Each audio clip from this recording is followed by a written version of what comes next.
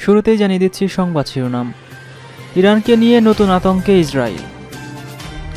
রাশিয়াকে সহায়তা এবং বেলুন কাণ্ডে চীনকে সতর্ক করল যুক্তরাষ্ট্র। রুশ কূটনৈতিকদের নেদারল্যান্ড ছাড়ার নির্দেশ। ইমরান খানের গ্রেফতার ঠেকাতে বাড়ির সামনে হাজার হাজার সমর্থক। বুধবার থেকে ইমরান খানের জেল ভরা আন্দোলন শুরু। রাশিয়ার সঙ্গে সম্পর্ক ভালো রাখলে সবারই মঙ্গল, জানালো সৌদি আরব। এবং সবশেষ থাকছে। তুরস্কের দেয়া জিনিস তুরস্ককেই ভূমিকম্পে ত্রাণ হিসেবে পাঠিয়েছে পাকিস্তান। এবার বিস্তারিত। ইরানকে নিয়ে নতুন আতঙ্কে ভুগছে ইসরায়েল। সমরাস্ত্র তথা ড্রোন শিল্পে ইরানের ঈশানীয় সাফল্যই ইসরায়েলের এই আতঙ্কের মূল কারণ। দেশটির প্রতিরক্ষা মন্ত্রীর বক্তব্যে এই আতঙ্ক প্রকাশ পেয়েছে। ইসরায়েল প্রতিরক্ষা মন্ত্রী ইয়োক ল্যাগনটি বরাত দিয়ে রয়টার্সকে জানিয়েছেন, শুক্রবার ইসরায়েলি প্রতিরক্ষা মন্ত্রী বলেছেন, ইরান তার ড্রোন এবং প্রিসিশন গাইডেড মিউনিশন বা নির্ভুলভাবে আঘাত হানতে সক্ষম যুদ্ধাস্ত্র বিক্রির বিষয়ে অন্তত পঞ্চাশটি দেশের সঙ্গে আলোচনা করেছে। তিনি আরও বলেছেন, নানা নিষেধাজ্ঞা সত্ত্বেও সংশ্লিষ্ট অঞ্চলের বাইরে নিজের উন্নত অস্ত্রের বিস্তার ঘটাচ্ছে ইরান। ইরানের ড্রোন শাহেদ একশো ছত্রিশের প্রথম বৈশিষ্ট্য হল, এটি বিস্ফোরক নিয়ে সরাসরি লক্ষ্যবস্তুতে গিয়ে নিজেই বিস্ফোরিত হয়। এতে যুদ্ধের কৌশল হিসেবে প্রতিপক্ষকে দ্রুত চাপে ফেলতে বা তাদেরকে বিদ্যুৎ কেন্দ্র, তেলক্ষেত্র এবং ক্ষেত্রের মতো স্থাপনাগুলোতে নিখুঁত হামলা চালানো যায়। অথচ আশেপাশের কোনো কিছুর উল্লেখযোগ্য কোনো ক্ষতি হয় না, যেমনটি ইউক্রেনে করছে রাশিয়া। ইরানি ড্রোনের আরেকটি বৈশিষ্ট্য হলো, এগুলো দামে সস্তা, ফলে যুদ্ধের ব্যয়ভার কমাতে ব্যাপক সহায়ক হিসেবে এই ড্রোন কাজ করে। বিপরীতে যুক্তরাষ্ট্র কিংবা অন্য কোনো দেশের ড্রোন দিয়ে সেটি সম্ভব হয় না। এ কারণেই ইয়েমেনে হতে বিদ্রোহী লেবাননের হিজবুল্লাহ, ফিলিস্তিনের হামাস এবং ইসলামী জিহাদ এবং ইরাক ও সিরিয়ায় ইরান সমর্থিত যোদ্ধাদের পক্ষে ইরানি ড্রোন ব্যবহার করা সম্ভব হচ্ছে। শুধুমাত্র এসব যুদ্ধই নয়, বরং সাম্প্রতিক সময়ে অনেক দেশই প্রকাশ্যে কিংবা অপ্রকাশ্যে ইরানি ড্রোন কিনছে। আফগানিস্তান, আজারবাইজান, তুর্কমেনিস্তান কিরগিস্তান এবং কাজাকিস্তানের মতো দেশগুলোও ইরানি ড্রোনের অন্যতম ক্রেতা, যদিও এসব দেশ তুরস্ক এবং অন্যান্য দেশেরও ড্রোন মজুত করছে। রাশিয়াকে সামরিক সহায়তায় চীনের পররাষ্ট্রমন্ত্রী ওয়াং ইকে সতর্ক করলেন মার্কিন পররাষ্ট্রমন্ত্রী অ্যান্টনি ব্লিংকেন। একই সঙ্গে চীনের একটি গুপ্তচর বেলুন যুক্তরাষ্ট্রের আকাশসীমা লঙ্ঘনের জন্য বেইজিংয়ের সমালোচনাও করেছেন মার্কিন এই পররাষ্ট্রমন্ত্রী।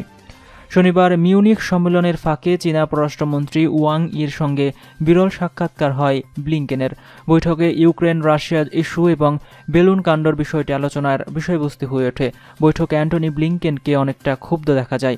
দুই দেশের শীর্ষ কর্মকর্তাদের এমন সময় মুখোমুখি বৈঠক হলো যখন যুক্তরাষ্ট্রের কাছে চীনের একটি নজরদারি বেলুন গুলি করে ভূপাতিত করে মার্কিন সামরিক বাহিনী। এ নিয়ে দুই দেশের সম্পর্কের তিক্ততা আরও বেড়ে গেছে।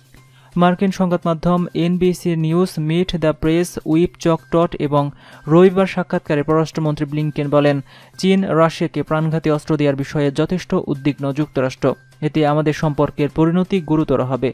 এ বিষয়ে ওয়াশিংটন আরও বিস্তারিত জানাবে বলেও জানিয়েছেন ব্লিংকেন। এদিকে মার্কিন পররাষ্ট্রমন্ত্রী বিভাগের এক জ্যেষ্ঠ কর্মকর্তা সাংবাদিকদের বলেন, চীনের পক্ষ থেকে রাশিয়াকে পদ্ধতিগত নিষেধাজ্ঞা ফাঁকি দিয়ে বস্তুগত সহায়তা প্রদান করলে এর প্রভাব এবং পরিণতি সম্পর্কে বেশ স্পষ্টভাবে সতর্ক করেছেন পররাষ্ট্রমন্ত্রী। ইউক্রেনের রুশ অভিযানের প্রথম থেকেই বেইজিংয়ের উপর নজর রাখছে যুক্তরাষ্ট্রসহ ইউরোপের দেশগুলো। পশ্চিমাদের অভিযোগ, এই যুদ্ধে গোপনে মস্কোকে সহায়তা দিচ্ছে চীন। যদিও এ নিয়ে প্রমাণ উপস্থিত করতে পারেনি। তবে মার্কিন প্রেসিডেন্ট জো বাইডেন আগেই সতর্ক করে দিয়েছিলেন, ইউক্রেন ইস্যুতে রাশিয়াকে কোনোভাবেই সহায়তা না করতে। বেশ কয়েকজন রুশ কূটনৈতিককে নেদারল্যান্ড ত্যাগ করার নির্দেশ দিয়েছে ডাচ সরকার। আন্তর্জাতিক অপরাধ আদালত এবং বৈশ্বিক রাসায়নিক অস্ত্র পর্যবেক্ষণ সংস্থার বিভিন্ন বিষয়ে গুপ্তচর বৃত্তির অভিযোগে এই সিদ্ধান্ত নিয়েছে দেশটি। শনিবার ডাচ সরকারের পক্ষ থেকে বলা হয়েছে, রাশিয়ার সেন্ট পিটার্সবার্গে অবস্থিত নেদারল্যান্ড কনসুলেটর বন্ধ করে দেওয়া হবে। আর হেগে বা নেদারল্যান্ডের রাজধানী রাশিয়া দূতাবাসের রাশিয়ান কূটনৈতিকদের সংখ্যা কমিয়ে ফেলবে। ডাচ সরকার বলেছে তারা হেগের রাশিয়ান দূতাবাসে কূটনৈতিকদের সঙ্গে সীমিত করার সিদ্ধান্ত নিয়েছে। মস্কোর ডাচ দূতাবাসের কূটনৈতিক সংখ্যা সংখ্যার সঙ্গে মিল রাখার জন্য এই পদক্ষেপ নেওয়া হচ্ছে। একটি বিবৃতিতে ডাচ পররাষ্ট্রমন্ত্রী উপকে হিয়োকোট্রা বলেছেন, কূটনৈতিকের আড়ালে নেদারল্যান্ডে গোয়েন্দা এজেন্টের আনার চেষ্টা করছে রাশিয়া। আমরা কোনোভাবেই এমনটি হতে দিতে পারি না। পররাষ্ট্র মন্ত্রণালয়ের একটি বিবৃতিতে আরও বলা হয়েছে, কয়েকজন রুশ কূটনৈতিককে দুই সপ্তাহের মধ্যে নেদারল্যান্ডস ত্যাগ করতে হবে। তবে এই সময়ের মধ্যে ঠিক কতজনকে রাশিয়ায় ফিরে যেতে হবে তা স্পষ্ট করেনি ডাচ সরকার।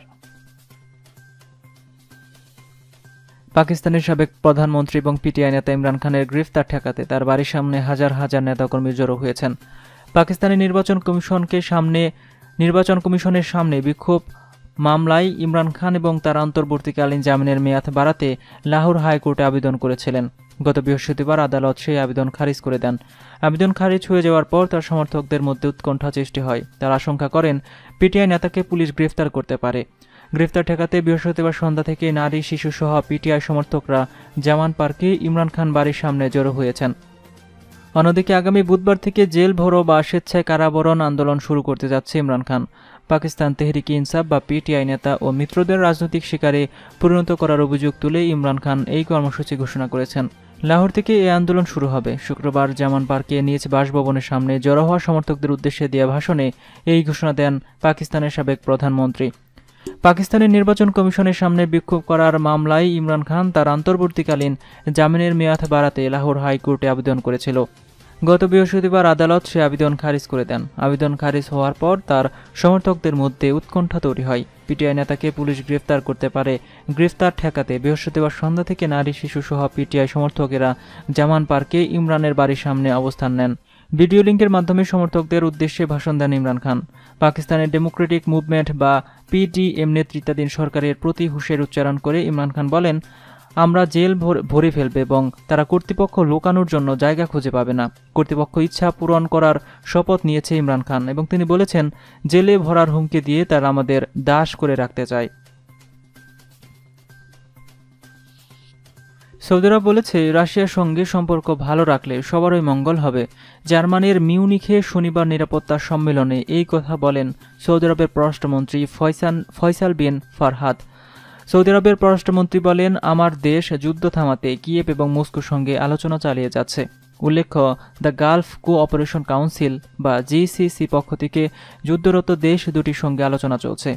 ইরানের পরমাণু চুক্তি নিয়েও জিসিসির উদ্বেগের কথা জানান সৌদি আরবের পররাষ্ট্রমন্ত্রী ফয়সাল বিন ফারহান। পাকিস্তানে ভয়াবহ বন্যার সময় তুরস্ক ইসলামাবাদে ত্রাণ পাঠিয়েছিল। ভূমিকম্প বিধ্বস্ত তুরস্কে পাকিস্তান সেই ত্রাণ পাঠিয়েছে বলে অভিযোগ উঠেছে। এক সাংবাদিকের বরাতে ভারতের জি নিউজ জানিয়েছে, পাকিস্তানি কর্তৃপক্ষ ত্রাণের বাক্স বাইরে থেকে বদলালেও ভেতরে দেয়া বাক্সগুলো পরিবর্তন করেনি, ফলে বিশৃঙ্খল পরিস্থিতির সৃষ্টি হয়েছে। পাকিস্তানের পররাষ্ট্রমন্ত্রী মন্ত্রণালয় বিষয়টি অবহিত করেছে কনসুলেটর জেনারেল। এই ঘটনায় দেশটির গণমাধ্যমগুলো হতাশ প্রকাশ করেছে। এমন ঘটনা প্রকাশ্যে আসায় পাকিস্তান সরকার নতুন করে বিব্রতকর পরিস্থিতির মুখে পড়েছে। তুরস্কের ভূমিকম্প বিধ্বস্ত এলাকা পরিদর্শনের কথা ছিল। পাকিস্তানের প্রধানমন্ত্রী শাহবাজ শরীফের। কিন্তু আঙ্কারার পরামর্শে তা বাতিল হয়ে যায়। তুরস্ক, সিরিয়া ভূমিকম্পের দুই দিন পর শাহবাজ এবং তার পররাষ্ট্রমন্ত্রী তুরস্ক ভ্রমণ করার কথা ছিল। কিন্তু অর্থনৈতিক সংকটের সময় জনগণের অর্থ ব্যয় করে আন্তর্জাতিক ভ্রমণে এই পরিকল্পনা সমালোচিত হয় পাকিস্তানে। তুরস্ক ও সিরিয়ায় ভূমিকম্প ক্ষতিগ্রস্তদের সহায়তা করতে বিশ্বের অনেক দেশ এগিয়ে এসেছে। স্মরণকালের অন্যতম ভয়াবহ এই ভূমিকম্পে এখন পর্যন্ত ছয়চল্লিশ হাজার মানুষের মৃত্যু হয়েছে। জাতিসংঘের ত্রাণ সহায়তার প্রধান মার্টিন গ্রিথিস গত সপ্তাহে তুরস্ক সফর করেন। তিনি বলেন, ভূমিকম্পে তুরস্ক এবং সিরিয়ার মানুষ অবর্ণনীয় কষ্টের মধ্য দিয়ে যাচ্ছেন। তাদের এই চরম দুঃসময়ে সবাইকে অবশ্যই ভুক্তভোগীদের পাশে দাঁড়াতে হবে। তারা যেন প্রয়োজনীয় সহায়তা পান, তা নিশ্চিত করতে হবে।